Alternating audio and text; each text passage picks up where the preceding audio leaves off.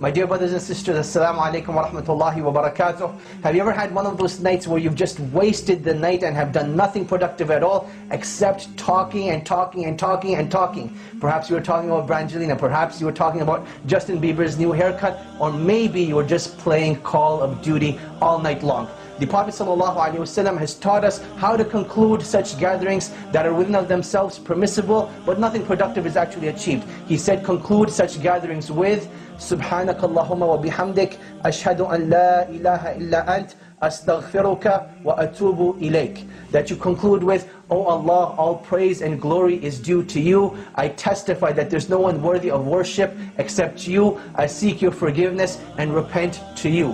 This is the dua the Prophet ﷺ called kaffaratul majlis, that it is the expiation for any sins that may have occurred or any lack of productivity that may have occurred during that time. So get into the habit of concluding your sessions with this dua bidhillahi ta'ala and perhaps Allah subhanahu wa ta'ala may forgive our sins that took place in that gathering. Now the beautiful thing about this dua is if, that if you look at the message of Surah Al-Nasr, you know the famous surah, uh, surah إِذَا جَاءَ نَصْرُ اللَّهِ وَالْفَتْحِ You'll see that there's a great correlation and similarity between these two things. That you praise Allah subhanahu wa ta'ala and you seek His forgiveness. In fact, this was the last complete surah revealed to the Prophet ﷺ that you know as his life is coming to an end, do these things. That praise Allah subhanahu wa ta'ala, glorify Him and seek His forgiveness. And that is what the Prophet ﷺ in fact did. May Allah subhanahu wa ta'ala grant us the tawfiq to implement this dua in our daily lives and conclude our sessions with it. Now here's an action item Press the like button right now, learn the dua, and let's conclude this session properly.